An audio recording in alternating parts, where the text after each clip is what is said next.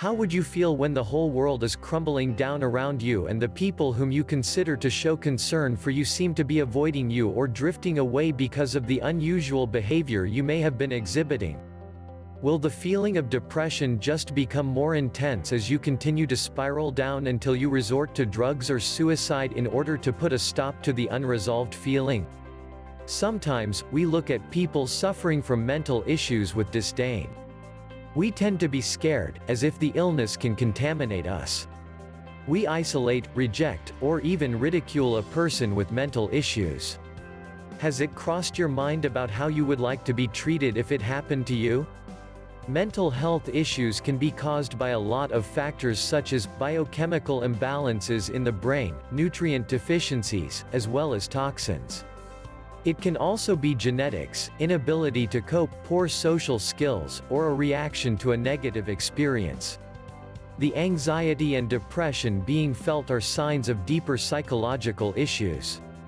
Psychiatrist Stanislav Grof used the term spiritual emergency in describing the state of mental illness while psychiatrist Peter Breggin coined the term psycho-spiritual overwhelm. Both phrases take the mystery out of the diagnosis by describing a process. It connotes an experience, not a stigmatized label that can last a lifetime. If psychosis is not a lifelong condition, but a temporary response similar to a runny nose when we have a cold, then there is something we can do to empower those people who are undergoing mental distress, or other issues connected to their mental health. If we can learn to read the warning signs of an impending cold, then we can learn to interpret the deeper cause and meaning of psychological overwhelm. By taking time to explore our feelings instead of reacting to them, we can definitely make some headway. There is no reason to be afraid of emotions. Feelings shouldn't be denied. There are reasons why such feelings or emotions exist. By deciphering them early on we have the chance to negate their snowballing effect. The body and the mind will always try to find balance or regain equilibrium no matter how filled with emotion a person is.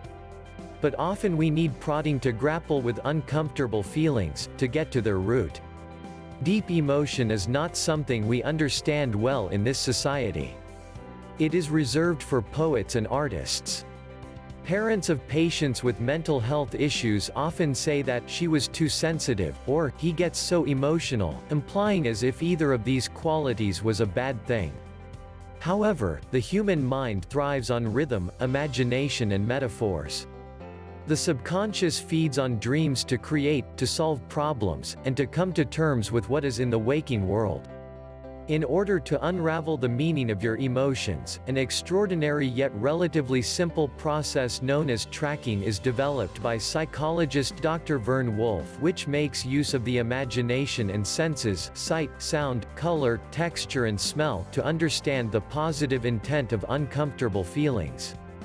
It can be used to help decipher the voices heard in episodes of schizophrenia.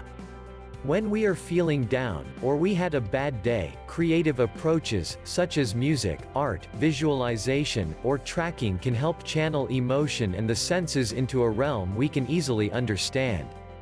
Not only do they take the pressure off of a potentially explosive and disempowering personal experience, but they can also be used to discover our own uniqueness.